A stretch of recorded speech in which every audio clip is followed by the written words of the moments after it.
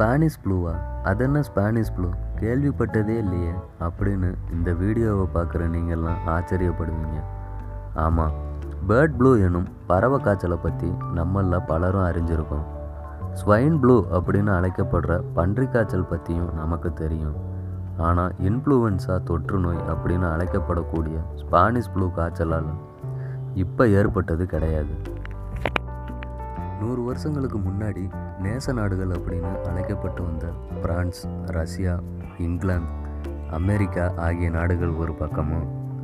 மைய நாடுகள் அப்படின்னு அழைக்கப்பட்ட ஆஸ்திரியா ஹங்கேரி ஜெர்மனி இத்தாலி ஆகிய நாடுகள் மற்றொரு பக்கமும் நின்று போரிட்ட முதல் உலகப்போர் நடந்த காலகட்டத்திலேயே தோன்றி பரவியது தான் இந்த ஸ்பானிஷ் ப்ளூ இந்த ஸ்பானிஷ் ஃப்ளூவுக்கு உலகம் ஃபுல்லாக பலியானவங்களுடைய எண்ணிக்கையை கேட்டால் அதிர்ச்சியில் உறைஞ்சே போயிடுவீங்க ஆமாம் அஞ்சு கோடியிலேருந்து பத்து கோடி வரைக்கும் பலியாகி இருக்காங்க. நம்ம இந்திய நாட்டிலேயே ஒரு கோடியிலேருந்து ரெண்டு கோடி வரைக்கும் இந்த ஸ்பானிஷ் ஃப்ளூவுக்கு பலியாகி இருக்காங்க. இன்றைய காலகட்டத்தில் மாதிரி அன்றைய காலகட்டங்களில் ஊடகங்களுக்கு சுதந்திரம் இருந்தது கிடையாது. அதனால் பல நாட்டு அரசுகள் உலகப் போர் காலத்தில் மக்கள் மத்தியில் இந்த நோயை சொல்லி பதற்றத்தை ஏற்படுத்திடக்கூடாது அப்படிங்கிறதுக்காக செய்திகளை வெளியிடாமலே பார்த்துக்கிட்டாங்க. அதனால் பலி எண்ணிக்கையெல்லாம் உத்தேசமாக கூறப்பட்ட தகவல்கள் தான்.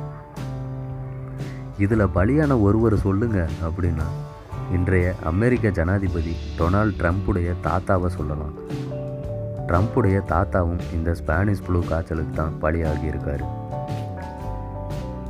ஸ்பானிஷ் ப்ளூ என்ற பெயரை வச்சு இது ஸ்பெயினில் தோன்றி பரவியது தான் அப்படின்னு முடிவுக்கு வந்துடக்கூடாது. ஸ்பெயினில் இந்த நோய் பரவுறதுக்குள்ளே அமெரிக்கா இங்கிலாந்து பிரான்ஸ் ஆகிய நாடுகளில் ஸ்பானிஷ் ப்ளூ பரவிடுச்சு. அதுக்கப்புறம் தான் ஸ்பெயினில் இந்த ஸ்பானிஷ் ப்ளூ பரவிச்சு. ஸ்பெயினில் பரவுவதற்குள் அந்த நாடுகளில் ஸ்பானிஷ் ப்ளூ பரவிய போதும் அங்கெல்லாம் செய்திகள் வெளியே வராமல் பார்த்துக்கிட்டாங்க. அதனால் வெளி உலகுக்கு அது பற்றிய தகவல்கள் வராமல் போயிருச்சு. ஸ்பெயின் அரசு உலகப் போரின் போது நடுநிலை வகிதத்தால் இந்த நோய் பற்றிய தகவல்களை உள்ளபடியே ஊடகங்களில் வெளியிட்டு உலகத்துக்கு அம்பலப்படுத்தியது ஸ்பெயின் தான். அதனால தான் இன்றளவும் அது ஸ்பானிஷ் ஃப்ளூ அப்படின்னு அழைக்கப்படுது. இதில் ஒரு வேடிக்கை என்னென்னா பிரேசில் நாட்டில் அப்போ ஜெர்மன் ப்ளூ அப்படின்னு இந்த ஸ்பானிஷ் ப்ளூவை அழைச்சாங்க. ஒருவேளை ஜெர்மன்லேருந்து பரவி இருக்குமோ அப்படிங்கிறதுனால. ஆனால் இப்படி நோய்களுக்கு பெயரிடுவதில் ஹூ அப்படின்னு அழைக்கப்படுற உலக சுகாதார நிறுவனம் விதிமுறைகளை உருவாக்கி தந்திருக்கு. அதனால தான் கொரோனா வைரஸ் சீன நாட்டில் பரவுனாலும் சீனா ப்ளூ என்றோ உகான் நகரில் தோன்றியதால் உகான் ப்ளூ என்றோ அழைக்கப்படாமல் கொரோனா வைரஸ் நோய் அப்படின்னு அழைக்கப்படுது. ஸ்பானிஷ் ஃப்ளூவால் எப்படி மரணங்கள் வந்துச்சு அப்படிங்கிறத உறைய வைக்கப்பட்ட உடல்களில் இருந்து எடுக்கப்பட்ட நுண்ணுயிரிகளை கொண்டு ஆராய்ச்சி நடத்தியதில் சைட்டோகைன் தாக்கம் அப்படிங்கிற பிரச்சனையால் உடலில் உள்ள நோய் எதிர்ப்பாற்றல் சிஸ்டம் அதீத எதிர்வினை புரிந்ததால் மரணங்கள் நிகழ்ந்திருக்கு அப்படிங்கிறத கண்டறிஞ்சிருக்காங்க. அதனால் நல்ல நோய் எதிர்ப்பு சக்தி கொண்ட இளைஞர்களை இந்த நோய் புரட்டி போட்டு கொன்று குவிச்சிருக்கு. அதே நேரத்தில் வயசானவங்களும் குழந்தைகளும் பெரிய அளவில் அப்போது பாதிக்கப்படாமல் தப்பிச்சிருக்காங்க. போர் வீரர்களை எல்லாம் இந்த ஸ்பானிஷ் ப்ளூ நோய் ஒன்று குவிச்சதை வரலாற்றின் கருப்பு அத்தியாயங்கள் நமக்கு காட்டுகின்றன. அந்த காலத்தில் ஸ்பானிஷ் ப்ளூ குறித்த விழிப்புணர்வை அன்றைய அரசாங்கங்கள் செஞ்சாலும் அப்போது ஐரோப்பிய நாடுகளில் எல்லாம் மத தலைவர்களும் மத குருமார்களும் தான் செல்வாக்கு பெற்றிருந்தாங்க. அவங்க சொல்கிறது தான் வேதம் அப்படின்னு மக்கள் நம்பி செயல்பட்டாங்க. அது மிகப்பெரிய பாதிப்பையும் ஏற்படுத்துச்சு. இதுக்கு ஒரு உதாரணம் ஸ்பெயின் நாட்டின் ஜமோரா நகரில் நடந்த சம்பவம் இது. அங்கே அரசு சுகாதாரத்துறை அதிகாரிகளுடைய உத்தரவை கண்டுகொள்ளாமல் புனித ரெக்கோ என்ற புனிதரின் நினைவு சின்னங்களை வச்சு தினமும் மாலை நேரம் ஒன்பது நாட்களுக்கு தொடர் வழிபாடு நடத்துமாறு உள்ளூர் பிஷப் உத்தரவிட்டிருக்காரு. அப்போது அந்த நினைவு சின்னங்களை கண்டு தரிசிக்க மக்கள் நீண்ட வரிசையில் மணிக்கணக்கில் காத்து நின்றுருக்காங்க. அந்த நினைவு சின்னங்களை முத்தமும் இட்டிருக்காங்க. இதில் ஸ்பெயின் நாட்டிலேயே ஏன்? ஐரோப்பாலேயே ஸ்பானிஷ் ஃப்ளூ தொற்றி அதிக உயிர்களை பழி வாங்கியது இந்த ஜமோரா நகரம்தான்.